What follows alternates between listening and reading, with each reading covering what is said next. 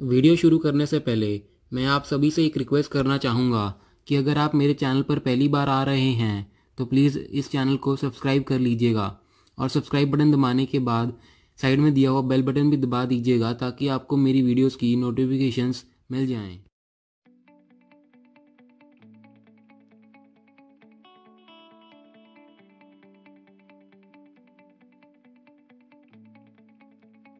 मारुति ने अपनी Vitara Brezza के फेसलिफ्ट को हाल ही में लॉन्च किया था, जिसमें अब आपको सिर्फ़ एक पेट्रोल इंजन का ही ऑप्शन मिलता है और डीजल इंजन को भी डिसकंटिन्यू कर दिया गया है।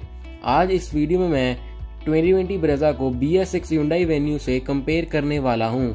तो स्वागत है आप सभी का एक और नई वीडियो में। वीडियो में आगे बढ़ने से पहले मैं ये बता दूँ कि आज मैं सिर्फ़ वेन्यू के पेट्रोल इंजन को ही कंपेयर करूँगा ब्रेजा के पेट्रोल इंजन के साथ।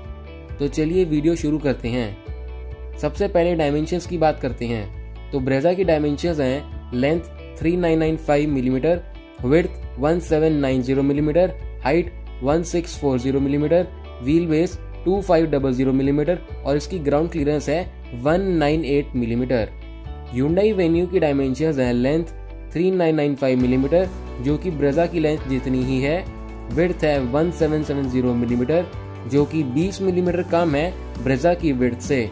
हाइट है 1605 मिलीमीटर, जो कि फिर से ब्रेजा की हाइट से 35 मिलीमीटर कम है। व्हील बेस इसका सेम है, ब्रेजा जितना 2500 मिलीमीटर का, और इसकी ग्राउंड क्लियरेंस भी 3 मिलीमीटर कम है, एक मिलीमीटर पर। तो इन डायमेंशंस को कंपेयर करने से तो ये क्लियर हो ही गया होगा कि ब्रेजा में आपको ज़्यादा कैबिन स्पेस मिलती है। अब इन दोनों गाड़ियों के इंजन स्पेसिफिकेशंस को भी कंपेयर कर लेते हैं। 2020 ब्रेजा में आपको 1.5 लीटर का नेचुरली एस्पिरेटेड पेट्रोल इंजन मिलता है, जो कि 105 पीएस की पीक पावर और 138 न्यूटन मीटर का पीक टॉक प्रोड्यूस करता है। जिसके साथ आपको 5 स्पीड मैनुअल और 4 speed torque converter automatic gearbox के ऑप्शंस मिल जाते हैं। और साथ ही साथ ऑटोमेटिक वेरिएंट्स में आपको 12 वोल्ट का माइल्ड हाइब्रिड सेटअप भी मिलता है, जो कि इसकी परफॉर्मेंस और फ्यूल एफिशिएंसी बढ़ाने में काम आता है। इसलिए 2020 ब्रेजा के मैनुअल वेरिएंट्स की माइलेज 17 किलोमीटर पर लीटर है और ऑटोमेटिक वेरिएंट्स की 18.76 किलोमीटर पर लीटर। और दूसरी तरफ़ यूंडाई वेन्यू में आपको दो B S six compliant petrol engine मिल जाते हैं। एक है 1.2 लीटर नेचुरली एस्पिरेटेड इंजन जो कि 83 पीएस की पीक पावर और 115 न्यूटन मीटर का पीक टॉक प्रोड्यूस करता है। इस इंजन के साथ आपको सिर्फ़ 5 स्पीड मैनुअल गियरबॉक्स का ही ऑप्शन मिलता है। दूसरा इंजन है one litre turbo petrol engine, जो कि 120 पीएस की पीक पावर और 172 न्यूटन मीटर का पीक टॉक प्रोड्यूस करता है। इस इंजन के साथ आपको सिक्स स्पीड मैनुअल और seven speed DCT automatic gearbox के ऑप्शंस मिल जाते हैं। इंजन चॉइसेस तो आप पर डिपेंड करती है कि आपको कौन सा इंजन ज़्यादा बेटर लगता है। वैसे मैं वीडियो के एंड में आपको बताऊँगा कि कौन सी गाड़ी किसके लिए बढ़िया है।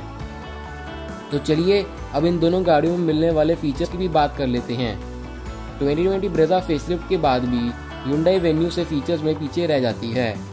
2020 ब्रेजा में आपको 7 इंच की touch screen with Android auto and Apple CarPlay cruise control steering mounted audio controls automatic AC automatic IRVM height adjustable driver seat 16 inch diamond cut alloy wheels LED fog lamps dual projector LED headlamps automatic headlamps and wipers leather wrap steering wheel, automatic IRVM reverse parking sensors and camera auto folding outside rear view mirrors जैसे features मिल जाते हैं।